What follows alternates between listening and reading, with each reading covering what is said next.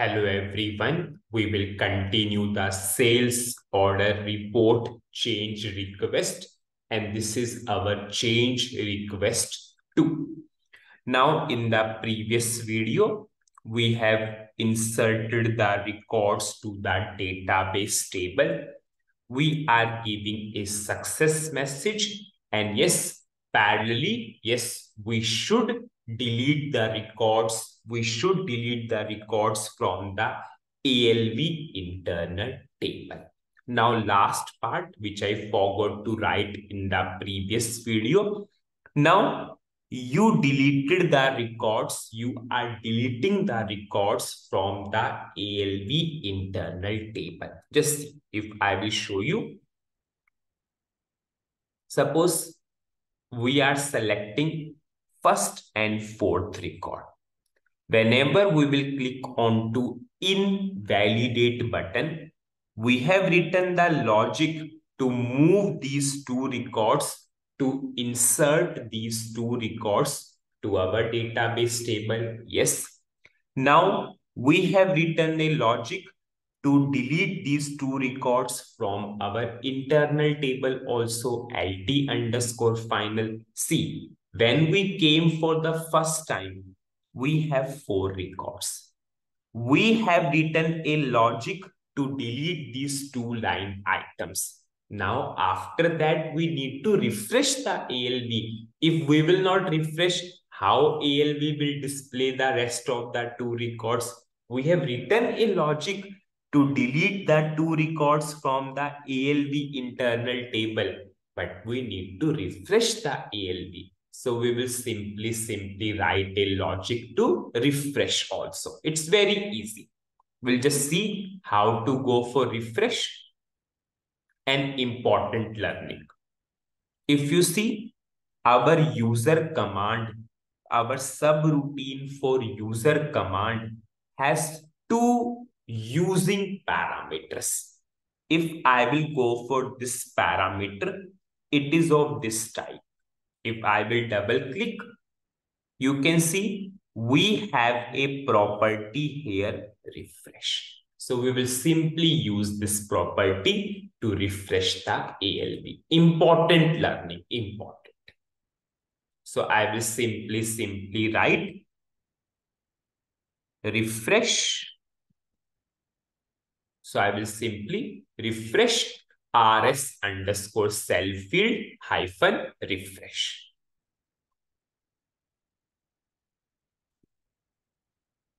rs underscore cell field hyphen refresh is equal to capital X. And you all know X means true. It means we want to refresh.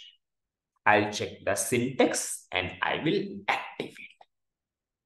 Now, for the best understanding, I will show you in the debugging mode so that if some confusion is there, it will be cleared into this particular video. I will write or I will put a breakpoint. I have put a breakpoint in user command. I will run. I will give the date. Suppose we want to invalidate first record and third record. It means for order number 77, we are going for line item number 10. For order number 78, suppose we will go for order line item number 20. I'm going for last record.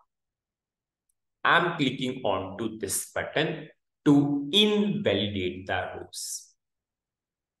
You all know user command called whenever you are performing the action on the buttons. What is the value? Invalidate. This is the function code which we gave. If condition true. Now in this LT temp final, yes, if you see, we have the first and fourth record only. First and fourth record first and fourth record. 77, 10, 78, 20 in LT temp final. This is the advantage here. We already written the logic for the same. Now these two records, we will pass it to LT underscore invalidate internal table. So we are passing through loop. Yes, we are passing to work area. From work area, we are filling another work area. And from this work area, we will fill the internal table. Now you can see in this internal table, we got the first record which we want to invalidate. Now loop will continue for second record. And we are passing the second record to invalidate internal table. Now in this internal table, we have the second record.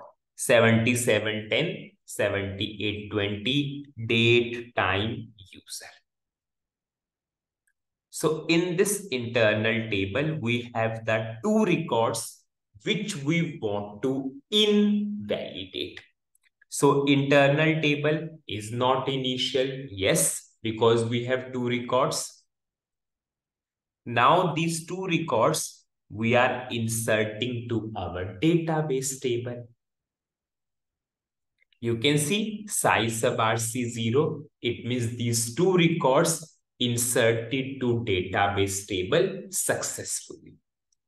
Now you can see LT final. LT final has both selected as well as deselected records. Now we are deleting this and this. It means only these two records should left, should left. And this is our requirement because we moved this invalidated records to the database table. Now we need to delete from the ALV also, ALV with whatever the ALV is displaying.